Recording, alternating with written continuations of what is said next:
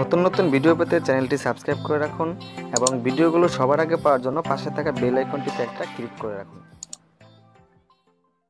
Hello বন্ধুরা welcome to etc Bangla. আমি বরাবরের মতো ইমান আছি। আপনাদের সাথে আশা করি আপনারা সকলে খুব ভালো আছেন। তো আপনি যদি অ্যান্ড্রয়েড ফোন ব্যবহারকারী হয়ে থাকেন তাহলে আজকের ভিডিওটা আপনার জন্য খুব বেশি দরকারি একটা ভিডিও অনেকের ফোনে একটা প্রবলেম হয় দেখা যায় যে তারা ডাটা কানেকশন অন করে। তো ডাটা কানেকশন অন করার পরও দেখা যায় তাদের ডাটা কানেকশনটা চালু হয় না। তো দেখেন এখান থেকে ডাটা কানেকশনটা অন করার পর দেখে যে তাদের ফোনের ডাটাটা অন হচ্ছে না। তো আমি দেখেন আমি আর ফোনে যেরকম আমি দেখিয়ে দিচ্ছি।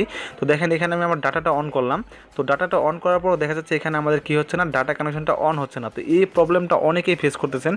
তো আজকের ভিডিওতে আমি আপনাদের দেখাবো যে কীভাবে আপনার এরকম ডাটা কানেকশন প্রবলেম থাকলে আপনারা কীভাবে এটাকে সমাধান করবেন। তো অনেকের ফোনে এরকম প্রবলেম দেখা যাচ্ছে যে তারা ডাটা কানেকশন ডাটা অন করছে কিন্তু তাদের ডাটা কানেকশনটা অন হচ্ছে না এবং তারা ইন্টারনেট ইউজ করতে পারছে না। তো যদি এরকম প্রবলেম হয়ে থাকে, তাহলে ভিডিওটা আপনার জন্য। আর আপনার যদি এরকম প্রবলেম নাও হয়ে থাকে, তাহলেও আমি বলব যে আপনাদের ভিডিওটা শিখে রাখা অবশ্যই দরকার। তো যাই হোক, ভিডিওটি শুরু করার আগে সবাইকে আমি ছোট্ট একটা রিকোয়েস্ট করব। এখন মতো যারা আমার এই চ্যানেলটি সাবস্ক্রাইব করে তাহলে প্লিজ এরকম নতুন নতুন ভিডিও পাওয়ার জন্য অবশ্যই আমার চ্যানেলটি সাবস্ক্রাইব করে পাশে থাকা বেল আইকনটিতে আপনারা ক্লিক করে রাখবেন। তো চলেন এখন আমরা টিউটোরিয়ালটা শুরু করব। তো মনে করেন আপনার ফোনের ডাটা চালু হচ্ছে না, তো এর জন্য করবেন কি জাস্ট আপনারা আপনাদের ফোনের সেটিংসে চলে যাবেন। জাস্ট সেটিংসে যাওয়ার পর আপনারা দেখবেন এখানে একটি অপশন যে মোর কানেকশন সেটিংস জাস্ট এখানে ক্লিক করবেন। তো এখানে ক্লিক করার পর দেখতে পাচ্ছেন এখানে একটি অপশন যে মোবাইল নেটওয়ার্কস নামে একটি অপশন তো আপনাদের ফোনে বিভিন্ন জায়গায় থাকতে পারে জাস্ট আপনার মোবাইল নেটওয়ার্কসে যাবেন। দেখতে পাচ্ছেন মোবাইল নেটওয়ার্কে ক্লিক করার পর জাস্ট আপনাদের সামনে এরকম একটি অপশন চলে আসবে যে অ্যাক্সেস পয়েন্ট নেম তো এই অপশনটি হলো আমাদের মেন অপশন জাস্ট এটার উপর আপনারা ক্লিক করবেন। তো দেখেন এখানে অ্যাক্সেস পয়েন্ট নেম এখানে ক্লিক করার পর এখানে একটি আমাদের এখানে ব্লাঙ্ক দেখাইতেছে। তো এইটা ব্লাঙ্ক দেখানোর কারণে কিন্তু আমাদের ফোনের ডাটা কানেকশনটা চালু হচ্ছে না। তো এখানে আমাদের একটা এপিএন সেট করতে হবে। তো অনেক ফোনে দেখা যায় যে ফোন রিসেট দেওয়ার পর বা বিভিন্ন প্রবলেমের কারণে এখানে এপিএনটা চলে যায় এখানে ব্লাঙ্ক হয়ে যায় যার কারণে ফোনের ডাটাটা চালু হচ্ছে না। তো এখানে আমাদের একটা এপিএন সেট করতে হবে। আপনার যেই সিমই হোক না কেন বাংলালিঙ্ক গ্রামীণ রবি এয়ারটেল যেই সিমই হোক না কেন জাস্ট এখানে আপনাদের একটা এপিএন সেট করতে হবে।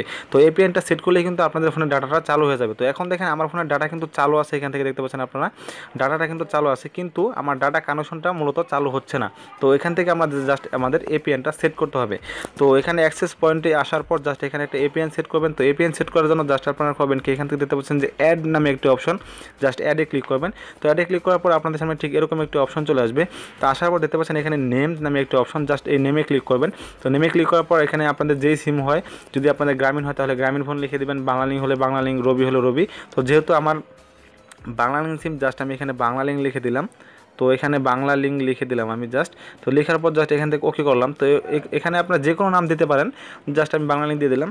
তো এখানে দেখতে পাচ্ছেন, তারপরে আমাদের মূল যে সেটিং সেটা হলো এখানে এপিএন দেখতে পাচ্ছেন এখানে এপিএন তো এখানে এপিএন আসার পর এখানে আমাদের এপিএনটা সেট করতে হবে।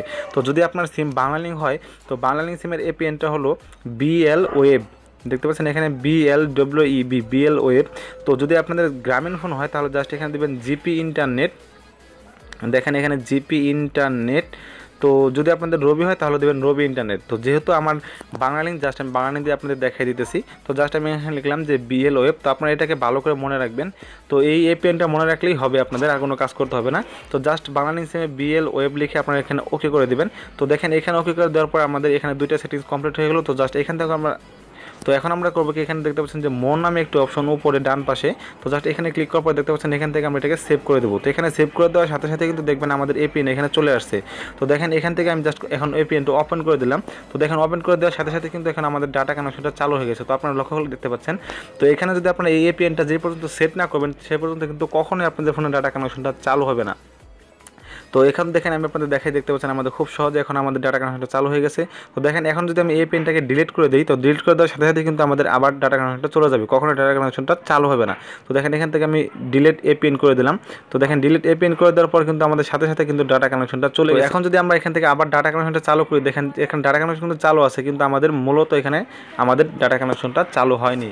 তো এইভাবে কিন্তু খুব সহজে আপনারা এপিএন সেট করে আপনাদের ফোনের ডাটা কানেকশন প্রবলেমটাকে আপনারা সমস্যার সমাধান করতে পারবেন।